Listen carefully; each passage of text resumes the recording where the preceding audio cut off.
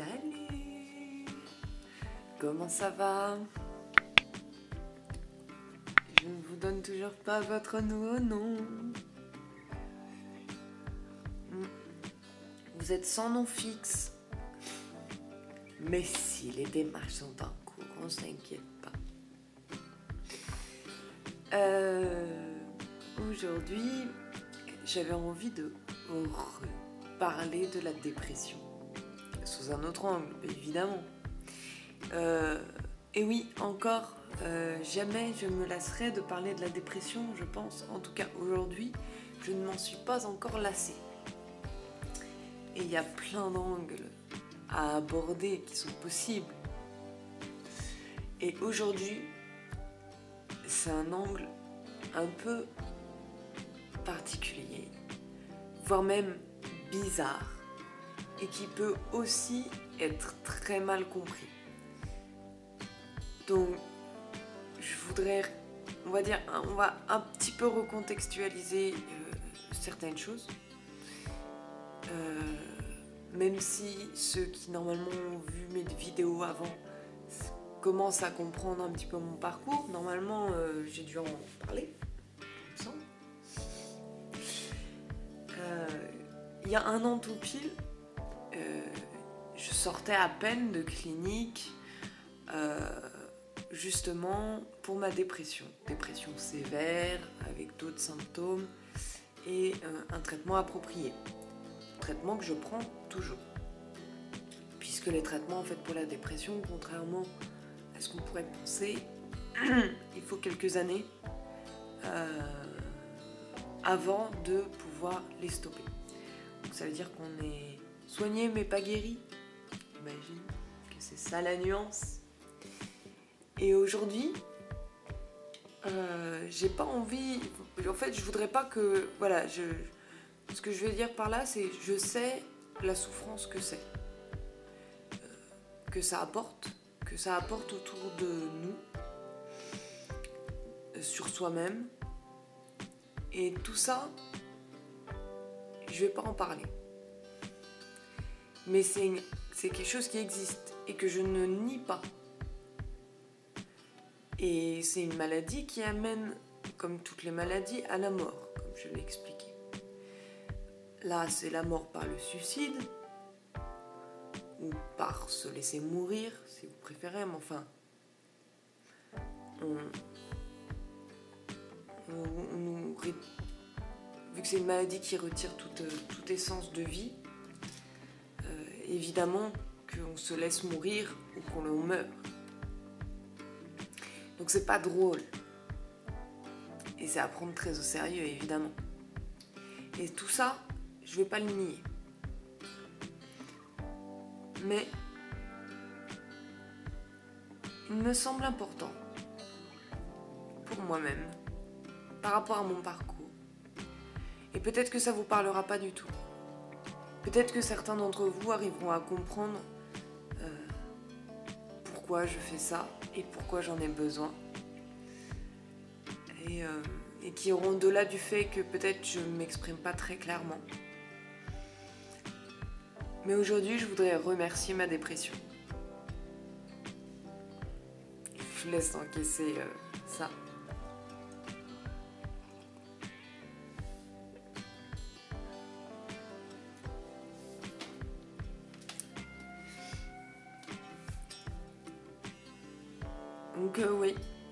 Je voudrais la remercier. Et pourquoi je voudrais la remercier? Eh bien, il se trouve que grâce à elle, en fait, la dépression, hein, euh, c'est comme beaucoup de choses. Hein. Enfin, la dépression encore plus, c'est un réel signal d'alarme de ton corps. Euh, certains psychologues m'expliquaient, c'est comme si on était une maison et dans une maison, il y a un compteur électrique avec euh, des, des disjoncteurs. Et il y a un. Comment on appelle ça? C'est pas une pile, c'est un. Oh là là là là eh, c'est le matin, je suis pas calée en. Qui a dit que j'étais calée en, en électricité, tu vois? Bon.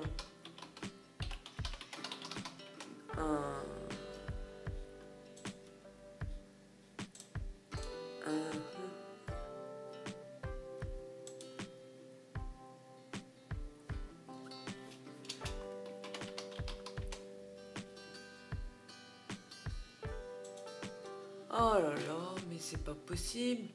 Puis les disjoncteurs d'aujourd'hui, c'est pas pareil.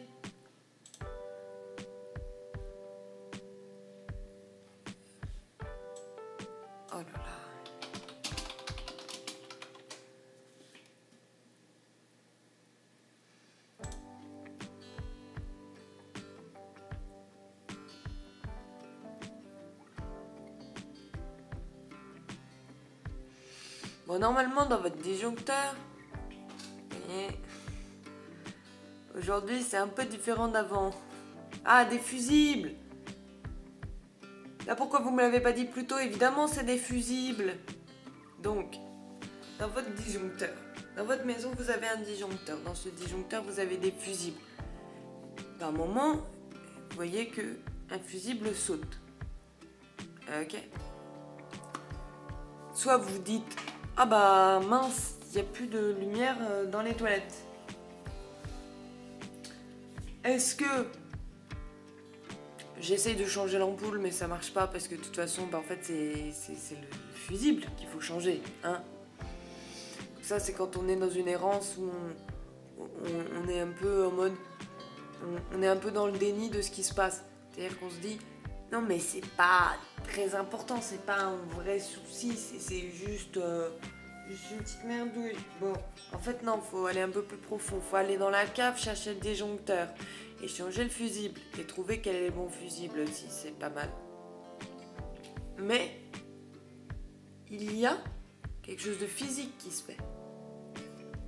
Visuellement, il n'y a plus de lumière ou d'électricité dans les toilettes.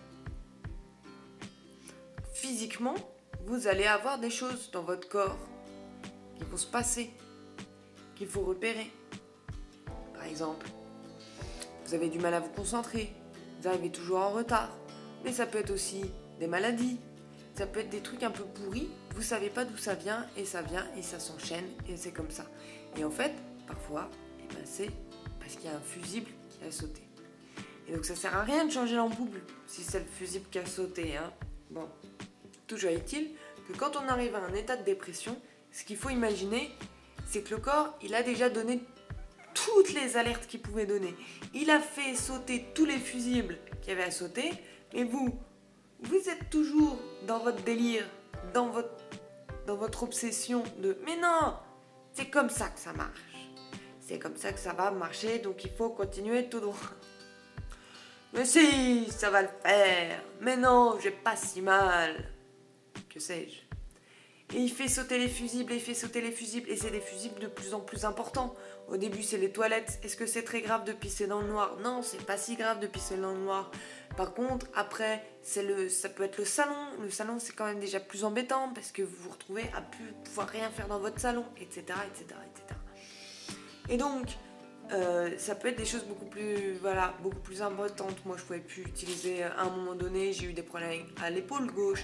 J'ai eu plein de soucis, des, choses qui parfois étaient même des maladies bénignes, qui arrivaient comme ça, paf Et, euh, et qui, qui c'était l'enfer pour que ça reparte. On se reprend tout de suite. Ou des, ou des problèmes, comme je vous disais, de concentration, etc., de retard. Tout ça, il faut les prendre en compte, c'est important. Bref, quand tu arrives à un stade de dépression, je rigole pas là-dessus parce que je sais ce que c'est. En tout cas, toujours est-il qu'en gros, ce qui s'est passé, c'est que tu as ignoré toutes les alarmes que ta psyché, que ton corps pouvait t'envoyer, vraiment ils ont tout fait. Les mecs, ils se sont donnés à fond pour te dire ça va pas. Et toi, t'as pas écouté. Et ben à un moment donné, il n'y a plus de fusible. Toi, tu continues de vouloir pomper l'électricité et d'y aller à fond de caisse. Évidemment, qu'est-ce qui se passe?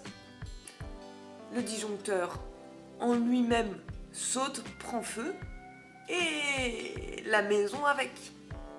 Et la maison, c'est toi. Et c'est ça la dépression. Ta maison, elle a pris feu. Tu as pris feu, si tu préfères. Et donc pourquoi je voudrais remercier ma dépression? Parce que un petit peu euh, dans cette idée de je connais toute cette souffrance et tout ça. Je connais par, euh, par ça où moi je suis passée. Bien sûr, il y en a qui vont le vivre différemment. Ce que j'espère, c'est de vous aider à peut-être le comprendre, à peut-être l'anticiper, à savoir avant, à régler les choses avant d'arriver au moment où la maison brûle. Parce que je vous raconte pas ça pour, que ça vous fasse des jolies histoires pour dormir, quoi. Hein S'il vous plaît Et c'est l'idée de vous partager mon expérience, c'est pour, euh, qu'elle vous soit utile, hein Merci que je veux dire par là, c'est que comme dans toute épreuve, on apprend des choses. Et apprendre des choses, c'est merveilleux. Pour moi, c'est une des choses les plus merveilleuses au monde, c'est d'apprendre. Vous le savez, vous le savez à force que j'aime apprendre. C'est pas possible.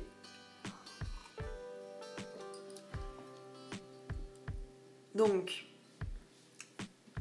là maintenant, ça fait un an. Un an que je suis soignée, donc sous traitement mais soignée. Euh, non, voilà, soignée mais pas guérie, c'est ce qu'on disait tout à l'heure. Hop, hop. Donc, je suis sortie de la clinique, où entre-temps j'avais revu un psychologue pour finir un petit peu la thérapie. Euh, enfin, finir la thérapie, pourquoi je dis un petit peu? Finir la thérapie, il y avait encore des petites choses à, gérer. Et euh, pouvoir voilà, continuer, avancer. Et puis là, justement comme je vous disais, il se passait plein de choses, euh, très concrètement là actuellement dans ma vie. Justement, je suis en train de me recentrer, pouvoir être encore plus en phase avec moi-même pour avancer encore plus loin, encore plus vite. Mais là maintenant, il faut que je me recentre avec moi-même. Et il faut que je lâche des choses qui me collent encore et qui m'empêchent un petit peu d'avancer. Donc je suis un petit peu dans cette phase-là, c'est pas drôle.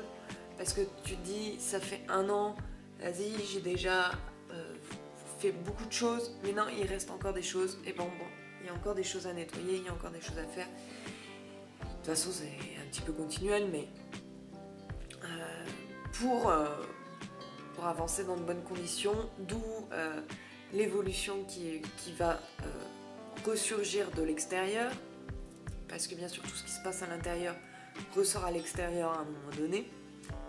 C'est comme, on dirait, un bon slogan de pub ce qui est à l'intérieur ressort à l'extérieur. Ça peut aussi être un bon, un bon titre de film porno. Enfin, bref. Euh, je suis con, hein. je rigole encore sur ma vieille blague. Et donc, euh, ce que je veux dire par là, c'est que la dépression, c'est pareil. Ça apprend des choses. Et donc, évidemment, maintenant, avec un an de recul, donc c'est ça que je voulais dire, et eh bien avec ce recul-là, euh, j'aimerais remercier cette étape de ma vie. Donc tout ça, c'était l'introduction. voilà, je suis désolée, c'était l'introduction, mais je pense que c'était aussi important de rappeler un petit peu les bases, hmm. de redire un petit peu qu'est-ce que c'était, comment, mon parcours et pourquoi donc j'en arrive aujourd'hui à me dire, bah si, je pense que c'est important de remercier et donc de vous dire, comme ça de tête, naturellement, comme ça me vient, les choses positives que j'ai retirées de cette expérience.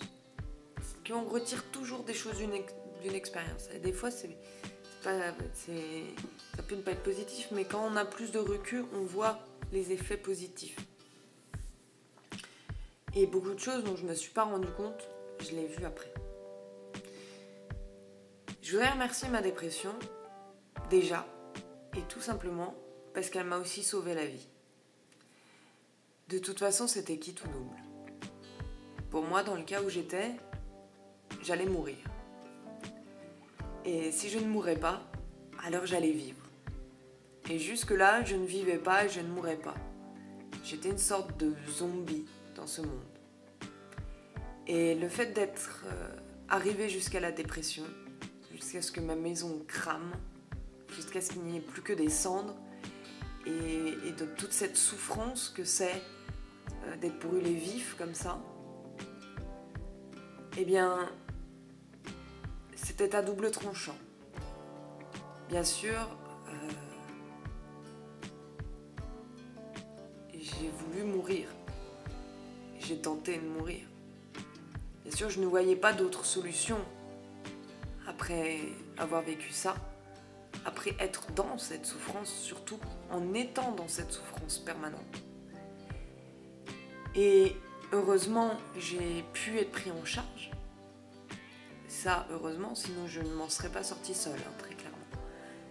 Mais en, étant, en ayant été prise en charge correctement, j'ai pu vivre. Et c'est pas, c'est même pas revivre parce que je pense qu'avant je ne vivais pas.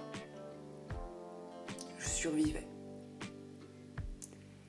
Et, euh, et je suis heureuse. Et je voudrais remercier cette étape de ma vie de m'avoir, d'avoir fait le nécessaire pour me montrer à quel point il fallait vivre sa vie. Et non pas la subir, la survivre, et... mais vivre. Et si c'était pas pour la vivre pleinement, alors il valait mieux en mourir. Et ça, c'est quelque chose qui me marque très fort et qui aujourd'hui a eu plein de répercussions sur ma façon de penser et sur ma façon d'agir. Mais déjà, merci pour ça. Merci de m'avoir montré que je ne vivais pas et de m'avoir amené à la vie en me tuant, on va dire.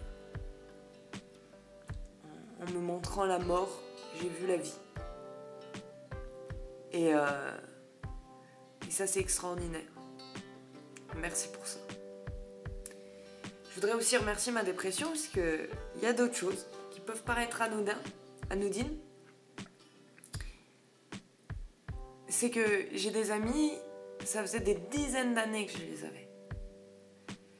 Je n'ai jamais été aussi proche d'eux et eux de moi que depuis que j'ai vécu cette dépression. Grâce à elle, j'ai réappris à communiquer. J'ai réappris et j'ai appris même à me confier. Je me suis rendu compte qu'il y avait des personnes que je connaissais depuis 10 ans qui ne me connaissaient pas. Parce que je ne m'étais pas exprimée sur moi. Jamais. Je parlais pas. Je parlais beaucoup parce que j'ai toujours été bavarde. Sinon, je ferais pas une je ferais pas des vidéos YouTube. Je suis bavarde, bien sûr, mais finalement, on se connaissait pas tant que ça. Et ce qui s'est passé aussi, c'est que l'inverse aussi s'est produit, c'est-à-dire que les gens étaient plus en confiance à se confier à moi.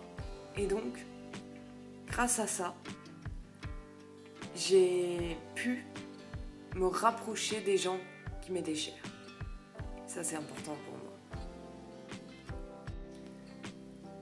Je voudrais aussi remercier cette dépression, puisque, évidemment, cette souffrance me permet de comprendre beaucoup d'autres souffrances. Bon, ça, c'est un petit peu le refrain habituel qu'on a. Hein, voilà, bon, je suis passée par là, je connais un petit peu. Bon, on le vit tous différemment, mais on connaît un petit peu. Voilà, allez.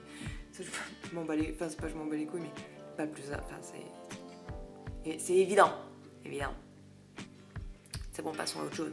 Baby. Let's, uh, let's go to the good part. Et donc, euh, donc aussi, quoi d'autre? Bien sûr, d'apprendre à être heureuse. Vous allez me dire, ça fait partie de vivre, mais on peut vivre et être malheureux. D'apprendre à être heureuse, d'apprendre et de savoir qu'est-ce qu'il me faut pour être heureuse, qu'est-ce qu'il ne me faut pas.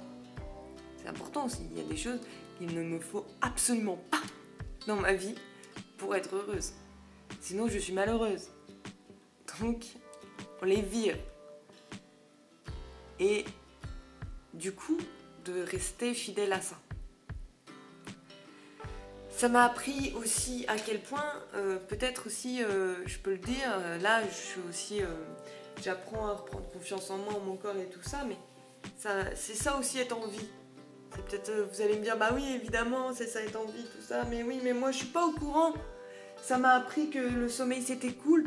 Ça m'a appris que, que, que les choses, la vie, les choses étaient possibles, quoi.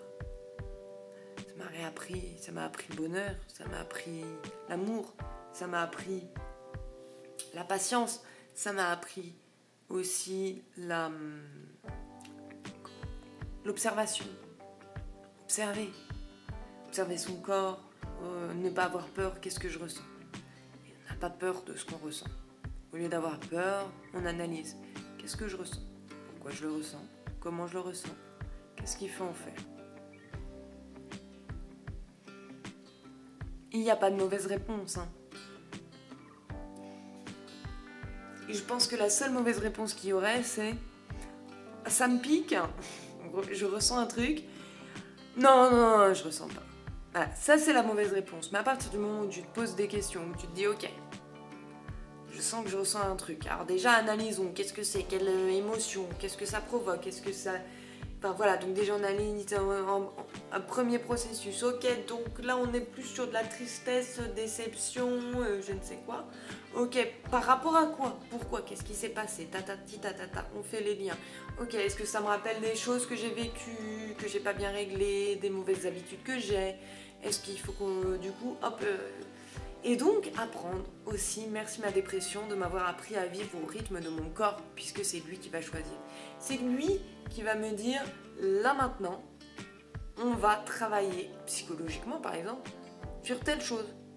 Pas super bien réglé, maintenant. C'est lui qui va me dire, là maintenant on va se reposer. Là maintenant faut que tu dors, tu fais plus rien, tranquille, tu te ressources. C'est lui qui va dire, bah c'est bon là, on est... Tu peux y aller, on est à fond. Et donc voilà, d'être à l'écoute de mon corps. Euh, et d'être, du coup, bah, ça va avec la tête. Le corps, il, va exprimer tout ce qu'il y a dans la tête. Donc c'est bien. Et, euh, et, le corps, euh, je le renforce. Et j'apprends à l'aimer aussi. Enfin, il y a plein de choses. Mais il ne faut pas penser que le corps, c'est juste, juste espèce de marionnette, quoi il envoie tellement de messages, il, est tellement utile que il est beaucoup plus intelligent que c'est pas juste une marionnette qu'on. Il est beaucoup plus intelligent que ça. Et on le sait. Et on en reparlera. Mais les expressions ne viennent pas de n'importe où. Quand on dit à quelqu'un qui nous prend la tête, on a littéralement mal à la tête quand quelqu'un nous dégoûte, on a réellement envie de gerber. Et quand on a la boule au ventre, on a littéralement les entrailles comprimées. Ok? Le corps est beaucoup plus intelligent que vous me croyez. Donc écoutez son corps, écoutez son esprit. Et voir, ok, quel est le moment opportun Là, qu'est-ce que je dois faire? Qu'est-ce que je ne dois pas faire? C'est au top, c'est hyper important. Pour ça, je voudrais remercier. Sans ma dépression, jamais je n'aurais appris ce que c'est que de vivre et donc d'être heureuse. Même si tout n'est pas parfait. Loin de là. Vous-même, vous le savez. La vie n'est pas parfaite. Mais quand même, je voudrais remercier ma dépression pour tout ça. Alors, merci ma dépression. Merci ma dépression. Grâce à toi, j'ai appris à vivre. Merci.